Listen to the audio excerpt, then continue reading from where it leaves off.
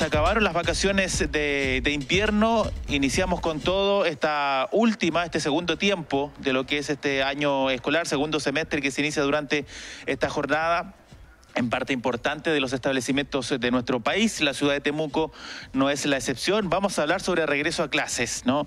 Cómo, cómo se viene este, este segundo tiempo para los estudiantes de enseñanza básica, de enseñanza media, también eh, que dependen, ¿cierto?, de los establecimientos administrados por la Municipalidad de Temuco. Vamos a invitar de inmediato a Marcelo Segura, director del DAEM en nuestra ciudad. ¿Cómo está, director? Buenas tardes. Buenas tardes, sí, buenas tardes. Sí, bueno, buenas tardes. Eh, contentos porque hemos tenido un retorno tranquilo eh, hemos tenido una asistencia que es bastante favorable de niños, niñas y adolescentes a nuestras escuelas, liceos y jardines sobre el 80%. Sí tenemos un problema producto de lo que tú acabas de comentar, del temblor. Eh, el temblor ocasionó un problema en un establecimiento en el Colegio Mundo Mágico que afectó tres pabellones, eh, una filtración de una bomba y era algo que, que no estaba presupuestado, pero el temblor tuvo sus repercusiones también en materia educativa, que no la teníamos considerada, así que estamos haciendo nuestros ingenieros, están viendo el tema en terreno para ver qué significa eso, qué tipo de obra y qué mejoramiento hay que hacer. Ahora, fisura interna. no, se viene específicamente el, daño, porque los equipos andan ahí en terreno, pero sí eh, se filtró una bomba producto del movimiento telúrico. ¿ah?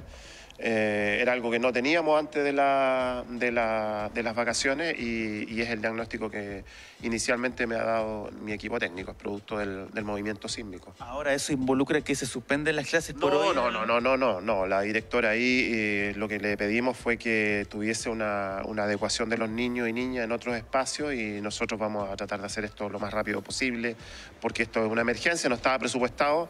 Eh, y, tenemos que resolverlo prontamente. Ahora, en materia de, asistencia, eh, como te decía, es una, jornada normal para nosotros, exceptuando este problema que tuvimos producto del temblor de ayer.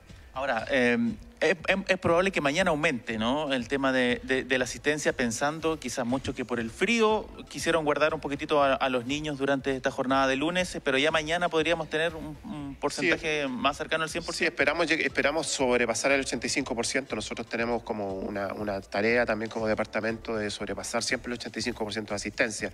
Bajo el 85% es calificado como el ministerio, por el ministerio como una inasistencia grave. Así que tenemos que siempre superar eso. Hoy día claramente el frío, unos 3 grados, 2 grados bajo cero, eh, impidió la normalidad completa de nuestros niños y niñas y adolescentes. Ahora es importante para los papás y mamás que los niños tengan que venir a clase. O sea, yo me acuerdo eh, cuando era muy pequeño, mi mamá me obligaba a ir a clase y claramente eso tiene un impacto positivo en los aprendizajes eh, los aprendizajes tanto curriculares también como de aspecto social en los niños y niñas. Director, ¿cómo se viene este segundo semestre? Eh, ¿Va a haber otro receso por ahí por el mes de, septiembre? Eh, ¿Fiestas patrias? son recesos pequeñitos, son recesos pequeñitos. Yo creo que ya hasta el 19 de diciembre tenemos muy intensa la, la actividad educativa. Eh, decirles también que por parte de un programa del Ministerio de Educación vamos a tener un equipo de reactivación, vamos a ir en búsqueda de aquellos jóvenes que han desertado de nuestros establecimientos y que producto de la situación que, que, está atravesando también el país, la región, la delincuencia y todo eso, queremos que esos niños vuelvan a la escuela y no estén eh, eh, haciendo teniendo acciones que no, no, les van a llevar a una vida en sociedad que como, como la que quisiéramos. Es un equipo que vamos a, a, conformar y ya va a estar saliendo a terreno, yo creo, los primeros días de, agosto. Director, eh, segundo semestre que es por lo general corto, porque llega septiembre y se acaba prácticamente, se acaba prácticamente el, año. ¿Se va a continuar con esta flexibilización por el tema de las bajas temperaturas para prevenir el tema de enfermedades respiratorias dentro, dentro de los colegios? ¿Va a continuar esto? ¿A qué te refieres con flexibilización? El tema de eh, presentar el documento médico, por ejemplo. O sea, siempre el documento médico es una alternativa para que el niño y niña no asista a clase. Ahora, nosotros eh, hemos hecho un esfuerzo muy grande para que nuestras salas estén calefaccionadas, el uso de la mascarilla es obligatorio hoy día, eh, hemos dotado de mascarillas también a nuestros establecimientos. Eh, y, claramente lo que hemos dicho siempre desde, desde, más o menos por ahí por inicios de junio, que dadas las recomendaciones del Ministerio de Salud, cuando hay un niño o niña que esté presentando una situación de salud compleja, mejor se quede en la casa para no ir a expandir, digamos, el problema de salud a sus compañeras y sus compañeros. Pero no sé si llamarle flexibilidad, pero sí vamos a estar atentos a las condiciones, obviamente, de temperatura y, de salud que el Ministerio de Salud nos, vaya, nos vaya manifestando bajo esa lógica, ¿no? Que me dice usted que garantizar el tema de la calefacción, sobre todo eh, en los establecimientos.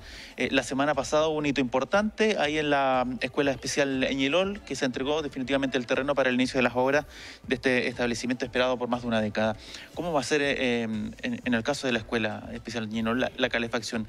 ¿Se va a continuar bajo el mismo, o sea, se va a continuar con el mismo trabajo hasta el momento, hasta que ya estén habilitados los primeras, las primeras salas? Bueno, tenemos un plan de mitigación que, se tiene que desarrollar. En el caso específico de este proyecto de más de 15 mil millones, que vamos a tener la escuela, la escuela especial más moderna de Chile, más moderna incluso que las instalaciones de la Teletón. Eh, vamos a duplicar nuestra matrícula en esa escuela especial, es una obra emblemática de, de nuestra administración, del alcalde Roberto Neira. Pero además de eso tenemos ahí un liceo industrial que tenemos que también ver obras de mitigación con ellos. Eh, mientras se resuelve eh, todo lo que significa mejoramiento, vamos a tener que trasladar a esos niños a otro establecimiento. Eh, y en materia de calefacción, bueno, el liceo industrial, que fue una de las demandas que los chicos tuvieron, hoy día tenemos eso solucionado. y el Liceo Industrial Bicentenario Tecnológico Pedro Aguirre va a tener obras también de mejoramiento en el transcurso del segundo semestre y los primeros meses del próximo año, que va a permitir tener condiciones más dignas para esos estudiantes. Ahora, eh, quizás es muy aventurado, ¿no? Dar algún pronóstico, pero a inicios de, año se dijo que se estaba trabajando en un plan para mejorar, exactamente, frío cero. Al próximo año se van a sumar nuevos establecimientos en lo relacionado a mejoramiento térmico y todo. Se van a sumar cuatro. Eh, esto es un proyecto a larga, a larga data porque significa una inversión grande. Estamos a puertas de terminar las obras en, en dos, en el Santa Rosa y los Avellanos, que están dentro de este programa Frío Cero, y vamos a incorporar cuatro más el próximo año para también ir avanzando en que los niños y niñas tengan condiciones eh, de calefacciones, y no solamente los niños y niñas, también los profesores, profesores y asistentes de la educación, condiciones que les permitan estar eh, en un ambiente que, les, que, favorezca el proceso de, de enseñanza-aprendizaje. Miguel Ángel Carrillo, no sé si tiene preguntas. En ese mismo marco, Cristian, de lo que usted estaba eh, eh, conversando, eh, el año pasado y este año se fueron terminando algunas obras de mejoramiento en establecimientos educacionales. Entiendo que eran 10 o 12 el año pasado. ¿Eso ya se termina definitivamente o hay otros colegios que entran también en esta línea de mejoramiento, ya sea de ampliación y todo eso? Sí, el año pasado eran cerca de 10 o 12 los establecimientos donde se iba a enfocar cierto el, trabajo. Con lo que usted me acaba de decir que se van a ir sumando de forma progresiva, ¿no? A medida que se va avanzando en, los trabajos.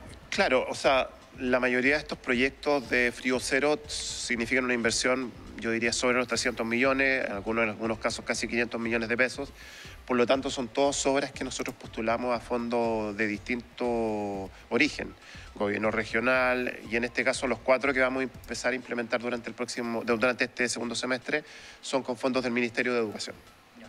Y vamos a seguir en esta tarea porque es una, una, misión que nos hemos encomendado de que nuestras escuelas, liceos y jardines estén en condiciones de, calefacción que den garantías a, toda la comunidad. ¿Esto suma establecimientos rurales? Bueno, en los establecimientos rurales también tenemos ahí un desafío. Ya tú sabes, la escuela Moyulco se va a construir nueva.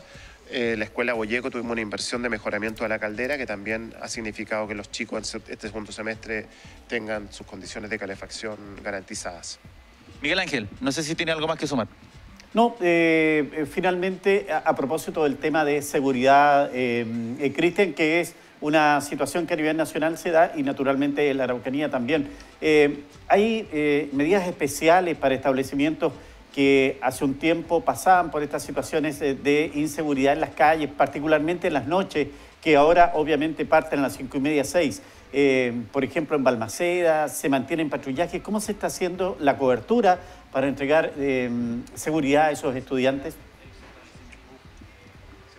Sí, eh, y siempre hace preguntas complejas, Miguel Ángel, ¿no? Eh, sobre seguridad. Me está, preguntando...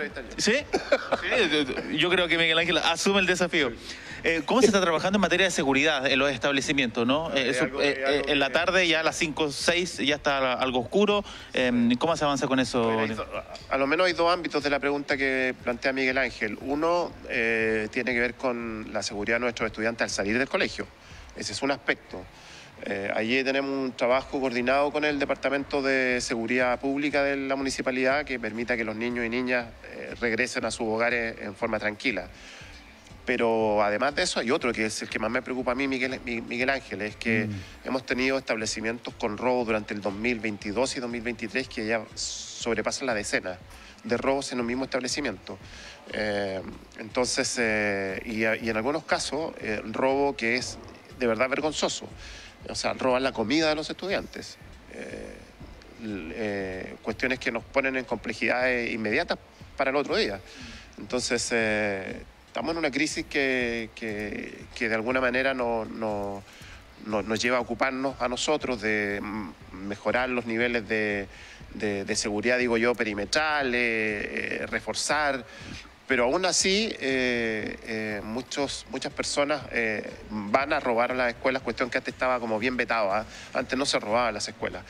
Pero, y aquí esto está todo, todo como, como concadenado con, con el nivel de delincuencia que lamentablemente tenemos. Ahora, nuestro alcalde nos ha pedido en esto poner un acento especial, por eso con el Departamento de Seguridad Pública estamos trabajando para coordinar de mejor manera y proteger de mejor manera nuestro establecimiento. Director, le agradecemos por su tiempo. ¿ah? Muchas gracias, muy gentil. Muchas gracias. Miguel Ángel Carrillo.